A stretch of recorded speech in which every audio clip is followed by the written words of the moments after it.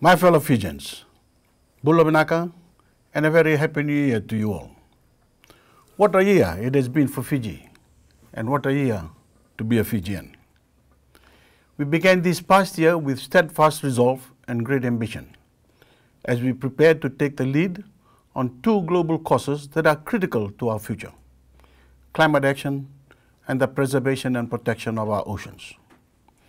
But we also knew that despite these global challenges, our work at home had to continue.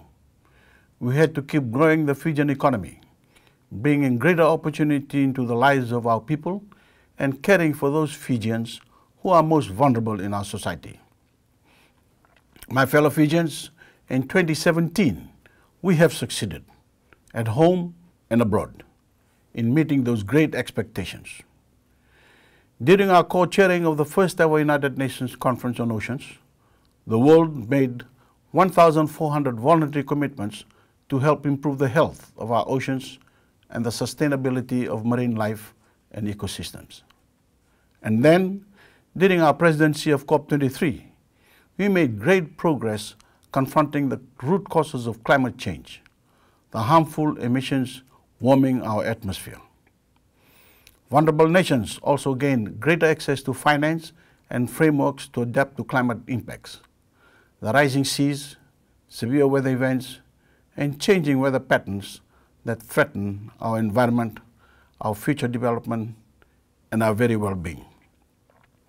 We believed when we took on these challenges, and we believe now, that Fiji's leadership and moral authority on the global stage as a small island state would help move humanity to rise up and take the action that we all know we must take.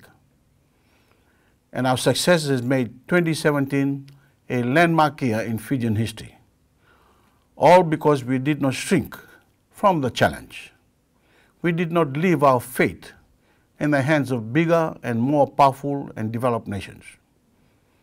We showed once again that a small island nation can provide mature and responsible leadership to drive the world to action. But my fellow Fijians, even in a year of unprecedented success abroad, I am most proud of what we have accomplished at home.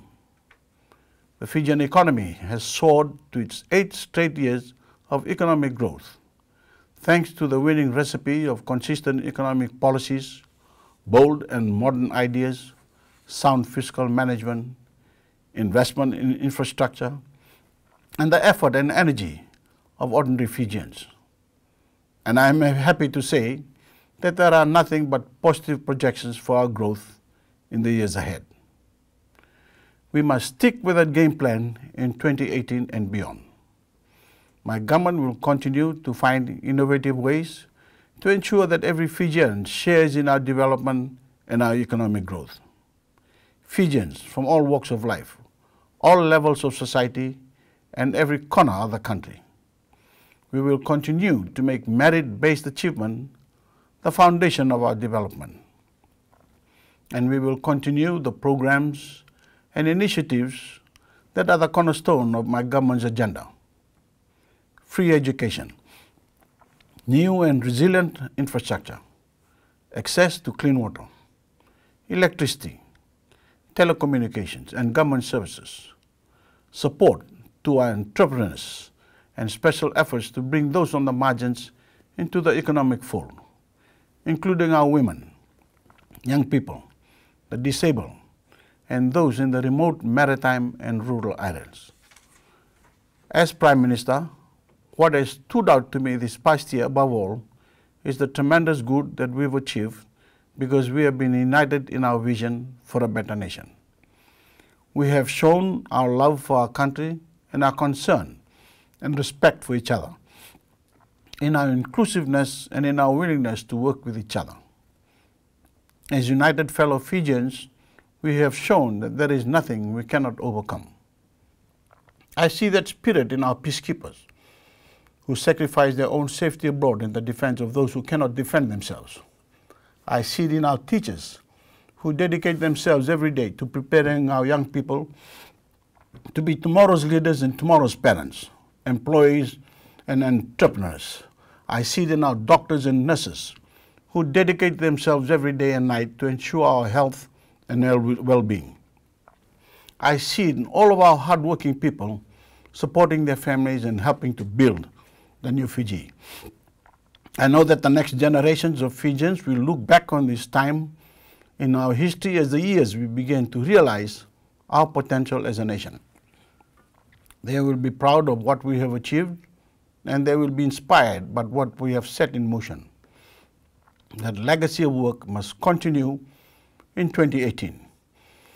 We must renew our commitment to see the things that unite us as a people, to continue to make life better for the Fijian people, and to keep engaging and speaking out on the issues that matter to every Fijian.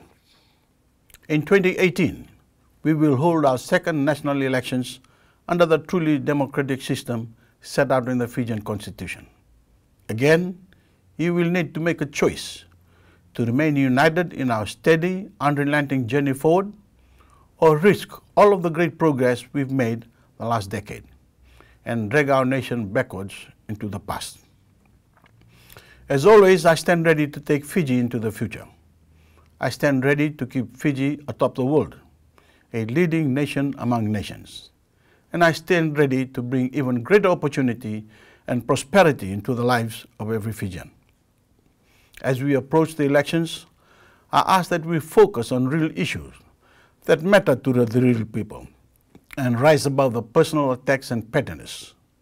We must be wary of any who seek to divide us on the basis of gender, ethnicity, religion, location, or socio-economic status, or any who seek to exploit ordinary people for their own political gain.